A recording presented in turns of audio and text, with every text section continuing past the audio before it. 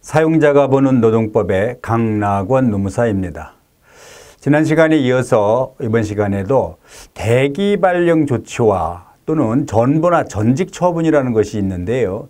둘 다 이게 인사권의 기초에서 이루어지는 것인지 아니면 근로자가 뭔가 좀 잘못해서 증벌적 성격으로 징계의 일환으로 행해지는 것인지 그 구별이 좀 애매할 때가 좀 어, 발생을 합니다.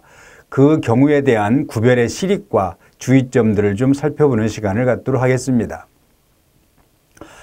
전부나 전직 처분이라는 것은 근로자가 소속의, 소속 회사에 담당하는 업무를 변경한다거나 또는 근무 장소가 변경되는 형태를 전보 또는 전직 처분이라고 합니다.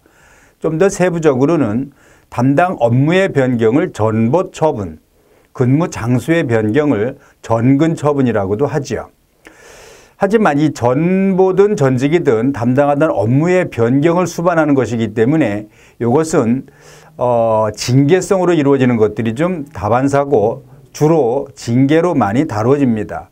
따라서 이 전보나 전직 처분이 징계성으로 이루어지는 경우에는 그것이 업무상 필요성의 요건과 생활상의 불이익이 있었는지 없었는지에 대한 요건 그리고 회사가 근로자와 사전에 협의를 거쳤는지 등의 징계의 정당성 요건을 충족해, 충족해야만 됩니다. 그러니까 징계성으로 이루어지는 거기 때문에 징계의 정당성 요건을 요구하고 있는 것인 거죠. 하지만 유사하지만 좀 다른 것으로서 우리가 보고 있는 대기발령이라는 것이 있는데요. 대기발령 조치라는 것은 회사의 이런저런 사정에 의해서 또는 근로자가 뭔가 하자 있는 어떤 의심이 있는 경우에 일단 담당 업무에서 배제하는 성질의 것이기 때문에 이게 징계성으로 이루어진 것인지 인사권의 일환으로 어, 행해진 것인지 그 구별이 좀 모호한 경우가 있습니다만은 원칙적으로는 인사권으로 봐야 되는 것이겠고요. 따라서 이건 징계 절차를 밟을 필요가 없는 조치가 되는 겁니다. 다만 인사권의 남용이라고 볼 만큼의 인사권의 정당성을 인정할 수 없을 때만 그 대기 발령도 또한 징계의 일환으로 평가를 해야 되는 경우가 발생할 수는 있습니다.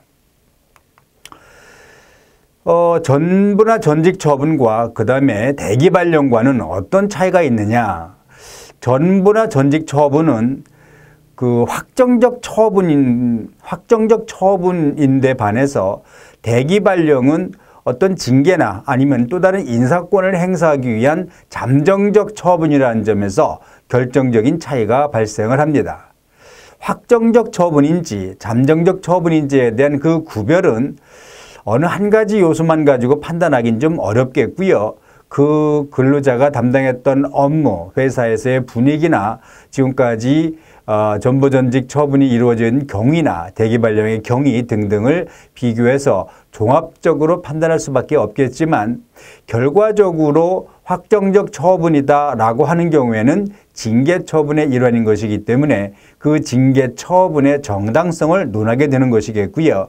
그렇지 않고 대기발령과 같이 잠정적 처분이다 판단되는 경우에는 대기발령 이후에 따라오게 되는 후속 처분, 후속 처분, 예를 들어서 대기발령 이후에 당연 면직이나 대기발령 이후에 징계 처분이나 등등이 따라오게 될 것인데 그와 같은 징계 처분에 대한 정당성, 후속 처분의 정당성을 가지고 대기발령의 정당성 여부를 결부시켜 판단하게 됩니다.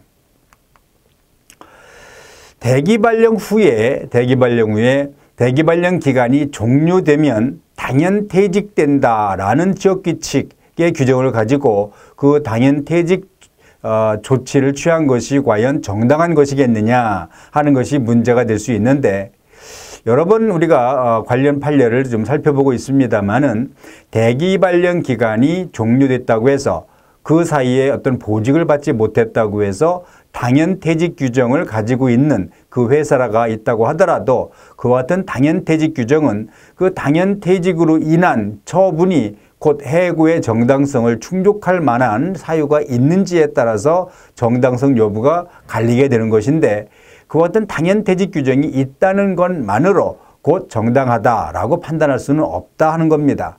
이 부분에서 우리가 유념해야 된다 하는 것을 강조드리면서요.